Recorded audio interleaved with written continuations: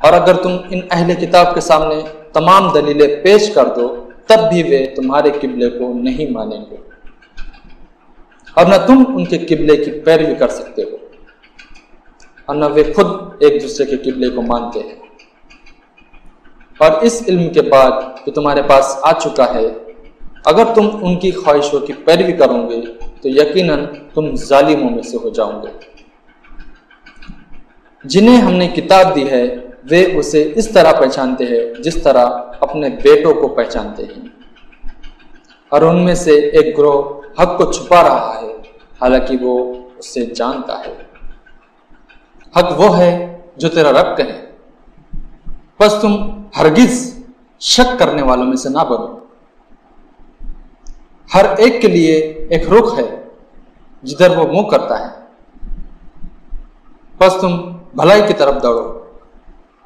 तुम जहाँ कहीं होंगे, अल्लाह तुम सबको ले आएगा। बेशक अल्लाह सब कुछ कर सकता है।